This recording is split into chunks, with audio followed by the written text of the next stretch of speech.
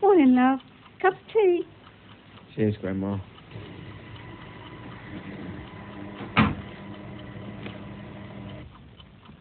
Tonight I'm gonna have myself a real good time. I feel alive.